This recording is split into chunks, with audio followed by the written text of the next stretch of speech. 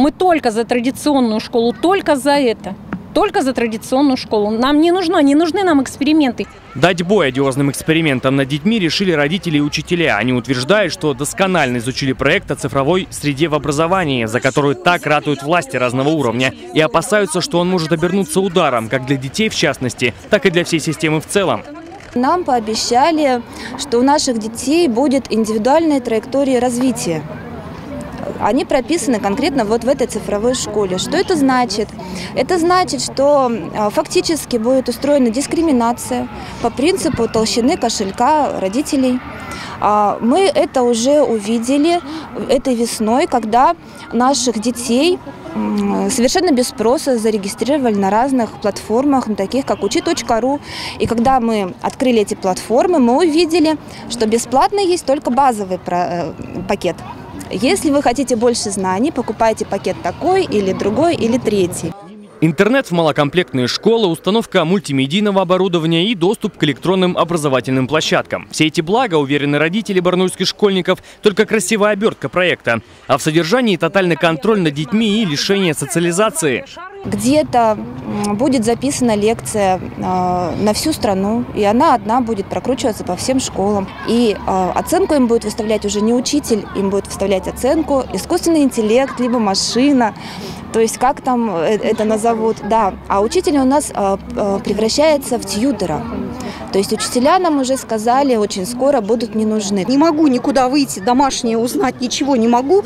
Я начинаю всех родителей обзванивать. Я ненавижу эту цифровизацию, потому что я сама педагог, я ушла со школы, я против этой всей вот системы.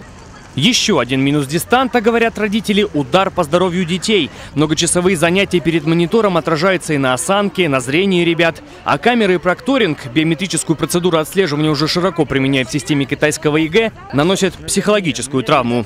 Чиновники лукавят о том, что это внедрение, простите, интернета высокоскоростного и всего прочего. На самом деле есть очень много минусов.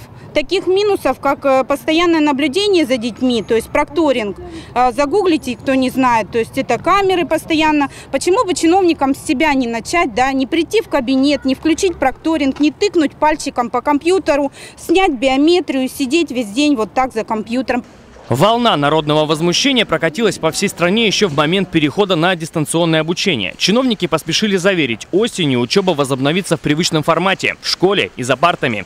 Но барнаульские родители решили, успокаиваться рано. По Европе грядет вторая волна коронавируса. Что будет, если она наступит и в России? Снова учеба из дома?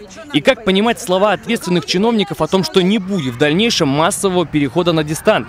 Будет локальный? Тогда когда и где? Эти вопросы мы адресовали Министерству образования края. В ответ получили только краткое письменное пояснение. Информация, распространяемая в ряде сообществ в социальных сетях и других источниках о якобы переводе обучения из школы в онлайн, недостоверна и не имеет под собой никаких оснований. Разрешит ли мэрия проведение митинга? Ответ открытый. Альтернатива выражению протеста – сбор подписей под петицией, которую скоро планируют запустить в социальных сетях.